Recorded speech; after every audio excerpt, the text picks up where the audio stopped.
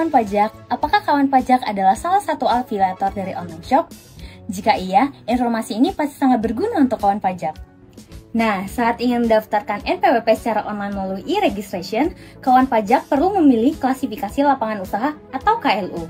Lalu, KLU apa yang kira-kira cocok sebagai afiliator?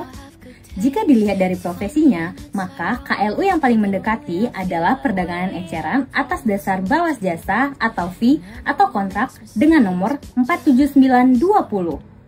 Mengapa demikian? Hal tersebut karena subgolongan ini mencakup pedagang perantara seperti agen komisi perdagangan eceran.